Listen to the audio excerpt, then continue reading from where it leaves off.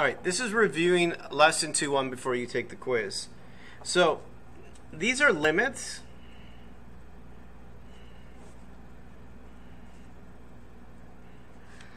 These are limits that are indeterminate that we use algebra to be able to remove the part uh, that is undefined. So if I plug 2 into the numerator and denominator, it's 0 over 0. I don't want you to write it down. But that means it's indeterminate. So that means there's a possibility that we could factor, which we can. So you can do a difference of squares. And then there's a possibility that this removes, and then you plug into, and then you get your answer. So let's do some examples that look like that.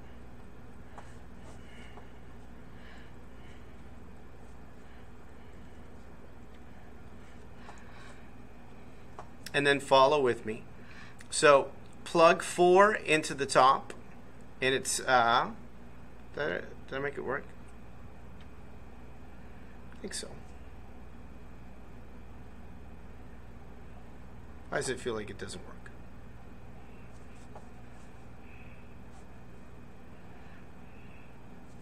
So if you plug 4 into the top, it should be 0, and 4 in the bottom should be 0. Hmm. What did I do wrong? Because this should be like this. Not right? And this. And removes. And then plug in. Oops. And I should always remember the limit notation when you do that. And you can see the answer is 7.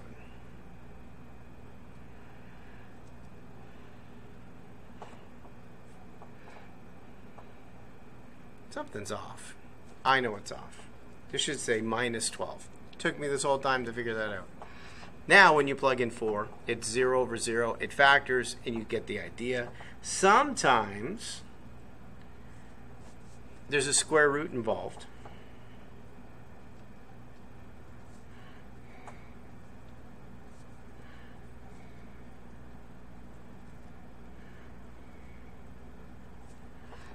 So if I plug in 9, and 9, you actually do get 0 over 0, indeterminate. This one requires what's called uh, conjugate. So you change the connecting sign for the radical part. So instead of subtracting, it's adding top and bottom. Write the limit notation. And then we multiply it. So root x times root x is x. And negative 3 times 3 is negative 9. The denominator just put them beside each other. And then notice how it now removes. There's a 1 on top. And then you can plug 9 in to get your answer. So the square root of 9 is 3, and 3 plus 3, and you get your answer. So these are like different ways something could be indeterminate. And then that's how you would solve it. The last part of the lesson had to do with the intermediate value theorem. So for the intermediate value theorem, if I give you a function and I give you an interval, and then I say, hey, for some c value, does it exist? Oops. Let me do this one. Uh, does it exist? Does there a c value that exists that can give you the answer to? And so in order to do that, step one is to plug in 0 and find the first y value.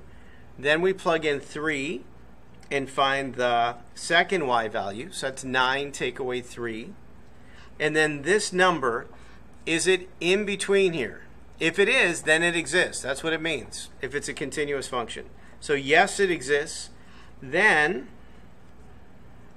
we take that number and make it equal to this function. And then solve it. So we're going to subtract 2. We're going to factor it. Something we have to be careful about here. So here's the factoring part, which should be uh, basic. Uh, the two answers are positive 2 and negative 1. But the interval goes from 0 to 3. So negative 1 is not an answer. So that C value is 2 because that number is in between 0 and 3. The negative 1 would not be a correct answer. All right, good luck on your quiz. Mr. G Math, over and out.